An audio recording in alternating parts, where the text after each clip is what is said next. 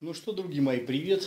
Вот прибыл я в отель Мариот, Мариот Град отель, где проведу ближайшие три дня.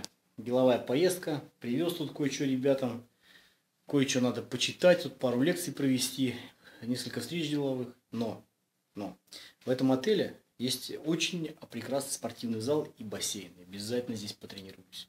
Обязательно. Но если бы даже не было, даже если не было, я все равно бы надел бы спортивную одежду, и с утра бы, пока еще машин мало, и все такое прочее, всего мало на улице, я обязательно пробежал бы километров 10.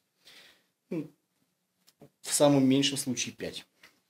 Так что никогда, куда бы я, вернее, всегда, куда бы я ни ездил, чем бы я ни занимался, как бы у меня ни была бы деловая, там деловой и плотный график, я всегда тренируюсь.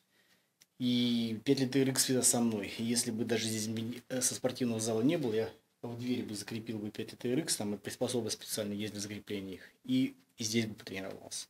Как это было, когда я в, э, с Питер ездил. Я там так тренировался. Там был отельчик маленький, и не было спортивного зала. И все нормально.